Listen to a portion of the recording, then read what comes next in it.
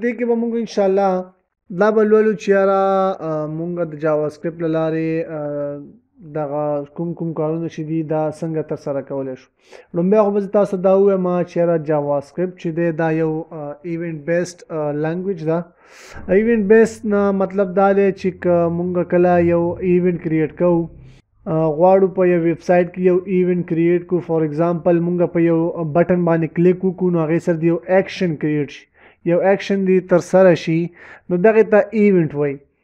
دغه اکشن چې تر سره شو دا ایونت تر سره شو نو دغه د څه شي لارې تر سره کیږي په ویب سایت کې هغه د جاوا سکرپټ لارې تر سره کیږي همداسې ډبل کلیک سره دی یو سیز وشي رائټ کلیک سره دی یو اکشن یا یو ایونت چې دغه پرفارم شي زه یو کی پریس کوم یو کی باندې زه مطلب اکشن تر سره کوم کیبورډ کې نو زما په ویب سایت کې یو څه تغیرات راشي یو اکشن یو ایونت دی تر سره شي هم داسې که زه موس هاور کوم او یا موس لري کوم د یو تصویر نه یا یو ویډیو نه نو څه اکشن څه ایونت دي تر سره شي دغه که تاسو زیاتره ویب سایټ کې لیدلی وي مونږ ډریګ ان ډراپ یو تصویر یو هغه ویب سایټ ته ډریګ کو یا ډراپ کوي همداسې یو سیش ته لوډ کو یا یو سیش ته را ډاونلوډ کو سکرولینګ پکې کوو نو دا ټول سیزونه چې دي دا به مونږ تاسو ټول د څه شي لارې کوو دا د جاوا سکرپټ لارې کوو او دغه لپاره به بیل ایونټس کریټ کوو چې دا به څنګه تر سره کیږي نو دې لارې ځکه ورته مونږ چې دا یو ایونټ بیسډ پروګرامینګ لانګویج ده یو پروګرامینګ لانګویج خدا خدا یو ایونټ بیس ده نو امید دی چې تاسو په دغه ایونټ بیس باندې پوه شوي وي جاوا سکرپټ چې دی د ایچ ټي ایم ایل سی اس اس سره ډیر تړاو لري که زه تاسو ته ویم یو اگزامپل دلته زه تاسو سره اخلم چې زه ورته وایم یاره سی ایچ ټي ایم ایل سی اس اس اینډ جاوا سکرپټ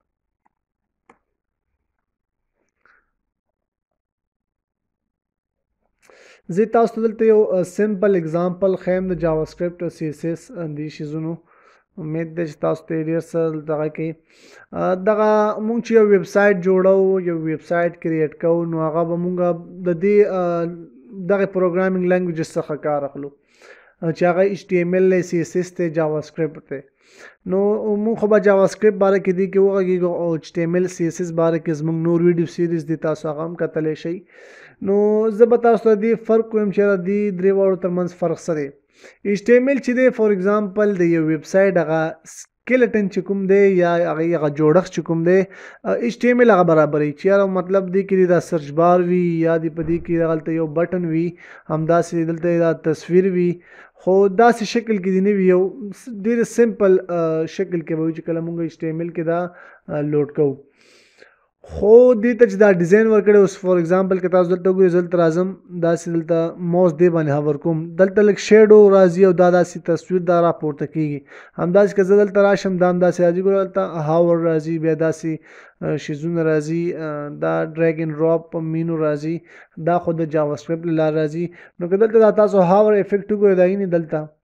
دا سي هاور افیکټ وګورئ دلته ما په دې باندې کلیک کړی دی دا سي بارډر اخیسته دا د سی اس اس لاري کیږي دته دلته دا ډیزاین ورکړی دی دلته دته دغه کوم کلر چې ورکړی بیک ګراوند چې ورکړی دی دا ټول د سی اس اس کار دی خو که زه ته ویم چې را جاوا سکرپټ دلته وسه کار کوي نو که تاسو دلته لیدلې وی چې را جاوا سکرپټ زه تاسو دلته یک سیمپل اگزامپل وخم جاوا سکرپټ کې تاسو داسې چې د اگزامپل جوړول شي فار اگزامپل ته دا لازم هاور په کوم ګوره تاسو داسې مینیوز جوړول شي هم داسې کزر تویم داسې سيزونه پکې برابرول شي په خپل ویب سټ کې داسې انیمیشنز برابرول شي همداسې چې دی داسې یو پورټفیلو باندې تاسو کلیک کوي او ویب سایټ کې تاسو خپل پورټفیلو ورکړی دا په هغې باندې سړی کلیک کوي نو یو ایونت دی کنه کلیک یو ایونت دی تاسو ترګه چې مخکې ما ویلې پاغه باندې سړی کلیک کین نو تاسو بس تاسو دا ډراپ مینو ډراپ کیږي دا څه شی دی دا د جاوا سکرپټ د لارې کیږي د ته دا ډیزاین چې دی دا د اوس د سی اس اس لارې ورکول شوی دی همدا سې دی چې دا کوم شی زونه انکلود دي دا د ایچ ټی ایم ال لارې دي که زه دلته اوس وګورم دا ګوري دا یو انیمیشن برابر شوی دا څه شی دا جاوا سکرپټ لارې برابر شوی دی نو ډیر داسې سوزونه دي چې هغه د جاوا سکرپټ له لارې برابرې کې زه دلته تاسو ته نور اگزامپل وخیم چې هغه ډیر زیات مهم اگزامپل دي دا د یو پروګرامینګ لانګویج کې که زه تاسو ته جاوا سکرپټ د اډوانس لانګویجز څخه حسابېږي که هغه تاسو فار ایگزامپل زه یم یو کلکولیټر زه دلته تاسو ته راوړم اگزامپل یو کلکولیټر ورکم فار ایگزامپل زه دلته ورکوم 5 زا 5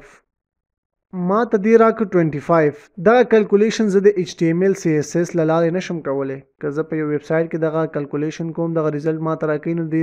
لاره به زه څه کوم دا به جاوا سکرپټ کې د تکوډینګ کوم او د ریزلټ به ما ته راکې که زه ورته د دې ما ته فار ایگزامپل لوګاریتم واخله د 25 نو ما ته به وایي چې د لوګاریتم شو دا لوګاریتم به زه څه شي له لارې علم دا به د جاوا سټپ له لارې علم دې دا اګزامپل دي کولی شي تاسو د سکویر روټ پیدا کړئ د یو ټراینګل ایریا پیدا کړئ همداسې ټو ویریبل سویپ کړئ کوادراتیک ایکویشن حل کړئ همداسې ډیر زیات اګزامپلز دي چې تاسو د دې له لارې یو سمپل کلکولیټر جوړولی شئ ایچ سی ایف جی سی ډي دی یو نمبر راوخکلی شي ال سی ایم راوخکلی شي همداسې تاسو کولی شئ چې ډیسیمل باینری ته چینج کړئ باینری یا ډیسیمل ته چینج کړئ همداسې اسکی ویلیو چې دغه یو کیریکټر ته چینج کړئ نو دا ټول چې دی مونږ په خیال مونږ کړی وي په سی سی پلس پلس جاوا کې دا سیزونه لولو چې هغه اډوانس لینګویجز دي نو هغه خو مونږ چې د په ډیسکټاپ اپلیکیشن کې استعمالو نو مونږ په ویب سایت کې څنګه استعمالو نو مونږ غلطه جاوا سکرپټ څخه کار اخلو جاوا سکرپټ لارې دا ټول شیزونه کلکولیشن اکشن چې کوم پرفارم کیږي هغه د جاوا سکرپټ لارې پرفارم کیږي نو دغه شیزونه به ان شاء الله مونږ تاسو په دې جاوا سکرپټ کې لولو چې یاره کلیک باندې سو شي هاور باندې سو شي ګور ما تاسو ته چې ماوس هاور تاسو ته ما دا اګزامپل دلته وښودو زه په دې باندې ماوس هاور کوم ویني دلته زه راځم چې یو ښه اګزامپل تاسو ته وښیم دلته زه په دې باندې ماوس هاور کوم دلته ماوس مې پرې راوست ویني دا پلی کېږي که زه ترې ماوس آوټ کړم دا دې سټاپ شي نو ماوس هاور آوټ دا اوس د جاوا سکرپټ له لارې مونږ کوو نو دا اګزامپل زو د جاوا سکرپټس د جاوا سکرپټ هغه کوم طریقه چې هغه می تاسو ته په هغه کې خو ده